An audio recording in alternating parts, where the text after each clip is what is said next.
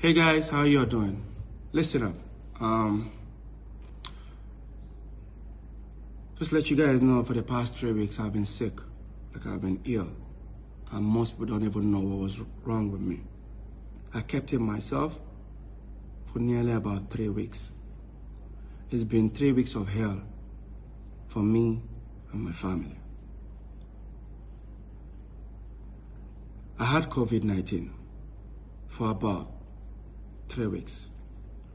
And uh, it happens to me. For those who have noticed during my Zoom live draw, I was in a room this time instead of my usual, you know, um, location, which is here. I was doing it in my guest room because I was more like self-isolated.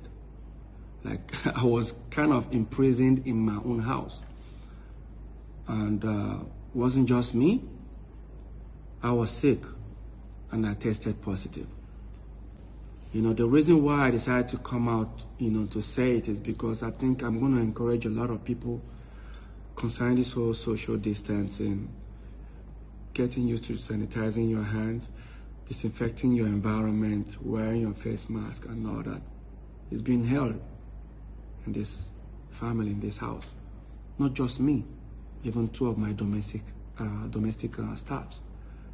Then after a week, my daughter caught the virus as well. But it was sad um, that when she caught it, the doctor insisted, the doctor insisted that um, she has to be self-isolated in her own room. But my wife did something very, very, my wife did something very, very courageous. She said no. I was sick and I was being self-isolated in my guest room. I can't even see my sick daughter. And I was feeling so bad because I felt like I'm the one who actually brought this virus to the house. And uh, it was so bad that I had to be calling her on a video, checking out, uh, checking out for her and other. And uh, the next day, I think my wife did something very courageous. What she did was she asked to pick my our daughter from her room and held her, took her to the master bedroom. And she called me. She started crying. I said, what happened? She said, I can't leave this girl alone.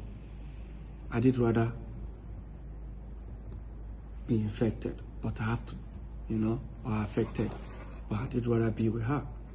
So five, six days time, my daughter was pronounced negative. When she, when she was pronounced negative, we knew it wasn't going to end there. The next day, uh, Lola became positive. So um, it's been hell. I don't know how to say, but we had a bad experience. I just want to tell everyone out there that this COVID-19 is real. Don't take it for granted. I'm happy to announce it that my wife, myself, our daughter, and two of our domestic staff, all of us are now negative. For those who have noticed during the draws of last two weeks and last week, did everybody suspected. People knew I was sick. I've lost a lot of weight, which is good. And I just want to say thank God that we're alive. So guys, be safe out there. COVID-19, coronavirus is real. God bless you guys. Thank you.